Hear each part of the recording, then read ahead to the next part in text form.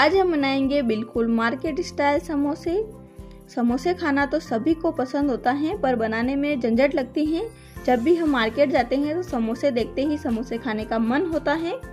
तो आज मैं आपको पाँच मिनट में पचास से भी ज़्यादा समोसे बनाना बताऊँगी, और इसमें ज़्यादा मेहनत भी नहीं लगती है। फटाफट से समोसे बन के तैयार हो जाते हैं। आप मेरे चैनल पर पहली बार आए हैं तो प्लीज़ लाइक, शेयर करना ना भूलें। और मेरे चैनल को सब्सक्राइब भी कर लें और बेल आइकन प्रेस कर लें ताकि न्यू अपडेट आप तक ज़रूर पहुँच सके। और आपका मेरे राजस्थानी किचन में स्वागत है। आज मैं आपको एक न्यू ट्रिक बताने वाली हूँ, जिससे फटाफट से समोसे बन के तैयार हो जाते हैं और हमें ज़्यादा मेहनत भी नहीं करनी पड़ती है।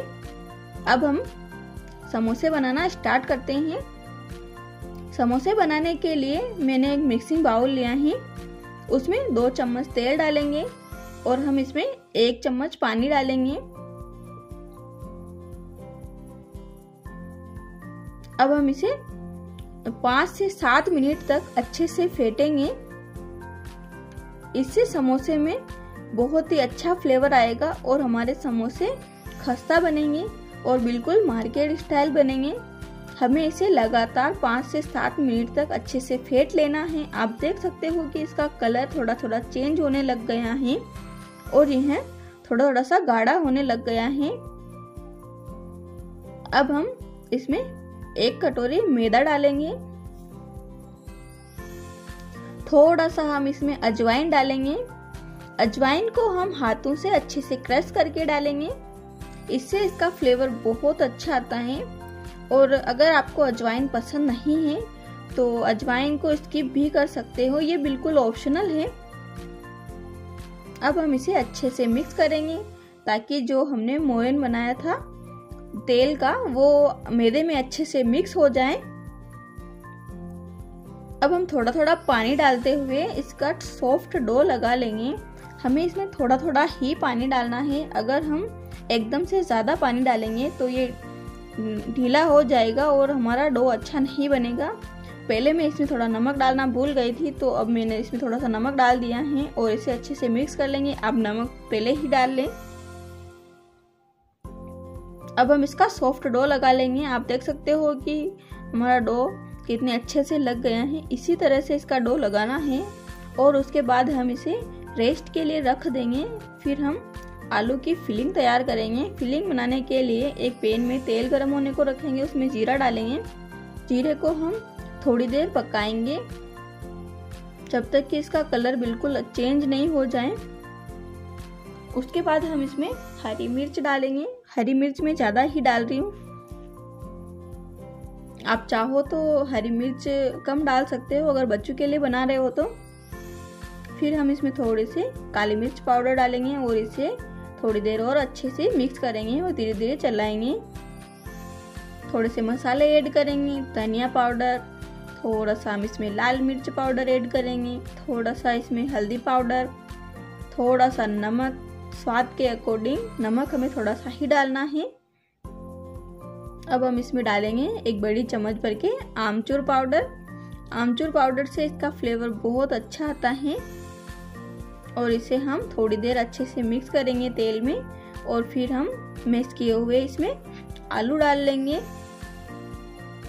और आलू को मसाले में अच्छे से मिक्स करेंगे। हमें गैस की फ्लेम को बिल्कुल मीडियम ही रखना है। हम इसे अच्छे से मिक्स कर लेंगे।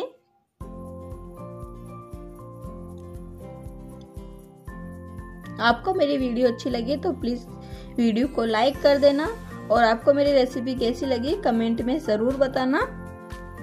अब हम एक कटोरी लेंगे, उसमें एक चम्मच मैदा डालेंगे और थोड़ा सा पानी डाल के इसे अच्छे से मिक्स करेंगे और इसका एक पतला सा बेटर बना के तैयार कर लेंगे। हमें इसका पतला ही गोल बनाना है। आप देख सकते हो कि कितना अच्छे से गोल बन के तैयार हो गया है। अब हम इसे साइड में रख लेंगे और एक लोई लेंगे। और इसे अच्छे से बेल लेंगे।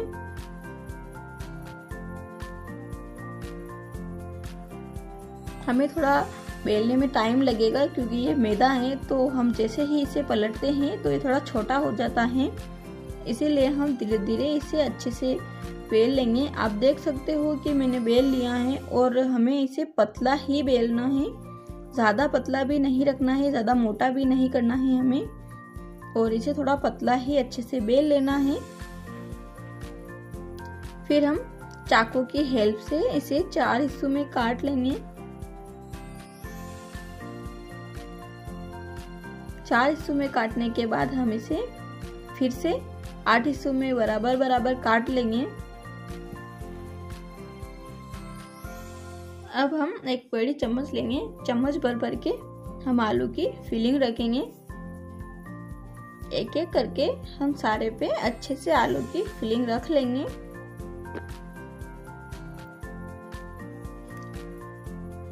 आपको मेरी वीडियो अच्छी लगे तो मेरी वीडियो को लाइक करें, ज़्यादा से ज़्यादा शेयर करें और कमेंट में ज़रूर बताना कि आपको मेरी रेसिपी कैसी लगी। अब हमने सब पे रख दिया है और अब हमने जो गोल तैयार किया है वो हम इस पर चारों तरफ़ लगा लेंगे ताकि यह चिप, अच्छे से चिपक जाए और ये अच्छे से चिपकेगा तो तेल में खुलेगा नहीं और हमारा तेल भी खराब नहीं होगा। आप देख सकते हो कि मैं समोसे किस तरह से बना रही हूँ। पहले हमें साइड से इसे चिपका लेना है, फिर आगे से इसे अच्छे से खींच के उसके ऊपर ही चिपकाना है और फिर दोनों साइड से इसे दबाते हुए अच्छे से चिपका लेना है।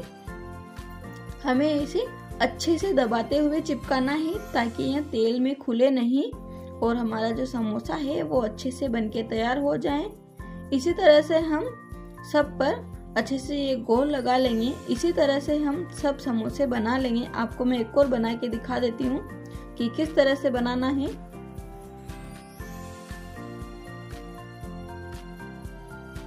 आप देख सकते हो कि मैंने दूसरा समोसा भी अच्छे से बना लिया है और इसी तरह से हमें सारे समोसे बनाने हैं।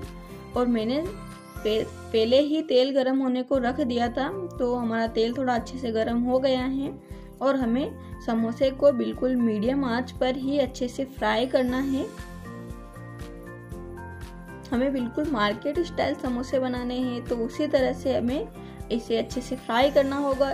जब भी हम मार्केट में जाते हैं तो कहीं भी आपने समोसे बनते हुए देखा होगा, वो समोसे को तलने में कितना टाइम लगाते हैं, क्योंकि वो बिल्कुल मीडियम आँच पर उन्हें धीरे धीरे फ्राई करते हैं। ये मैदा होता है तो हमें इसे मीडियम आँच पर ही फ्राई करना होता है। अगर हम हाई फ्लेम करेंगे तो ये जल जाएगा और बाहर से जल जाएगा, फिर अंदर से थोड़ा कच्चा कच्चा लगेगा और बिल्कुल भी समोसे अच्छे नहीं लगेंगे। आप देख सकते हो कि इनका कलर कितना अच्छा आया है, कितने सुनहरे हो गए हैं। अब हम इसे एक प्लेट में निकाल लेंगे और जो बचे हुए समोसे हैं, वो भी हम इसमें डाल लेंगे और इसी तरह से हम इन्हें भी अच्छे से फ्राई कर लेंगे। हमें इन्हें भी मीडियम आँच पर ही फ्राई करना है और बीच में हम इसे चलाते भी रहेंगे।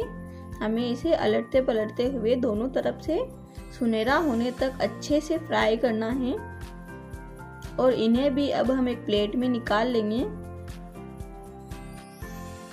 आप देख सकते हो कि हमारे सारे समोसे बन के तैयार हो गए हैं और मैं तोड़ के भी दिखा देती हूँ कि कितना खस्ता बने हैं।